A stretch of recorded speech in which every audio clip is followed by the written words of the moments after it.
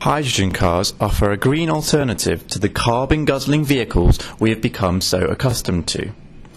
At the Royal Society, Business Minister Mark Prisk announced a new project to ensure the UK is well positioned for the commercial rollout of hydrogen fuel cell electric vehicles.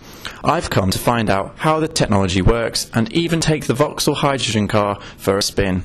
This is uh, our first generation fuel cell vehicle. Um, we have built about 120 of them. This is the largest uh, market test of those fuel cell vehicles, which we hope to bring to market uh, to be able to retail them in 2016.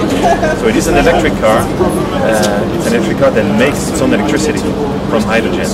Um, this uh, electricity is produced in a fuel cell. A fuel cell was invented um, actually in England in the 18th century. Um, it's simply the reverse um, chemical operation, electrochemical operation uh, from electrolysis. You put hydrogen and oxygen together, and this generates electricity. The only byproduct being water vapor. Yeah, this, uh, as I said, this is an electric car, so you have a, a, a norm uh, power, which is about 100 horsepower, and the peak horsepower is about 130. So it doesn't look uh, like much for a car of this size and weighing about two tons. Yeah. The great thing with uh, electric motor is you have the torque as you leave the green light. So we have 320 newton meter of torque, which is equivalent to a big, you know, turbo diesel of today. The good thing is today already to drive 100 miles is the same cost as with the petrol or diesel engine. Uh, we produce every year about 50 million tons of hydrogen, so we know how to produce it uh, efficiently. It's just a matter now of bringing it onto the road uh, for uh, mobility infrastructure, um, and that's why we're here today. I'm now um, in the new in the new Vauxhall, uh, driving through the centre of London, and I can tell you that it's incredibly quiet. Uh, it feels just like a normal car. It runs very smoothly. It looks just like a normal car. It has all of the standard gadgets that you would expect, um, and yeah, I'm really very impressed. I was so impressed, in fact, I just had to have a go myself. But what happens when you run out of hydrogen? Well, it's really straightforward. This this is obviously a mock-up, um, but it's very similar to what we have in, say, the, the bus station in London. So we have um, the, the control and the programming and the visuals. People can see what they're doing, and then this is clearly just the nozzle um, that is, that goes into the vehicle that feeds the hydrogen.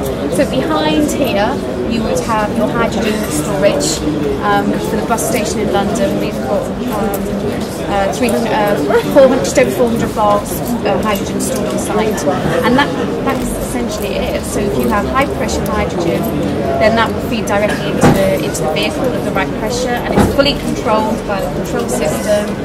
Hydrogen doesn't flow until all this uh, nozzle block is in place and all the safety checks on the line have been done. So um, it's a very simple process, really. Some of, the, some of the stations do have compressions and they have lower pressure hydrogen as a store and then they compress it up to the required pressure which then feeds into the vehicles. But it, it, you know, there are, there are different combinations but ultimately you have hydrogen and your dispenser and your vehicles. Hydrogen fuel cell technology could even be seen in London's dirty black cabs. And at the moment I am sitting in typical what you would call traditional London black cab.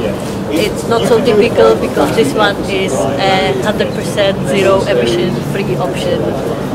Normal black cab runs on normal petrol.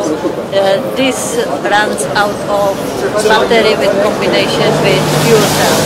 Fuel cell is basically an engine. So where normally you would fill a car within a minute or two with the petrol, this car with less than five minutes you fill with hydrogen.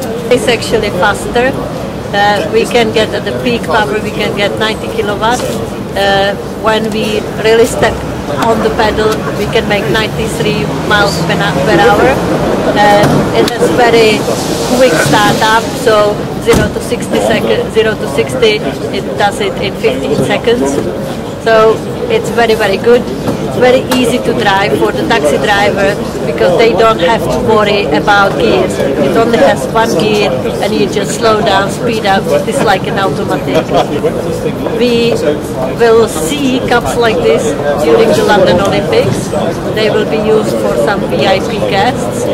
And after that we will be working on lightweight version and around the 2014-2015 we should see full deployment.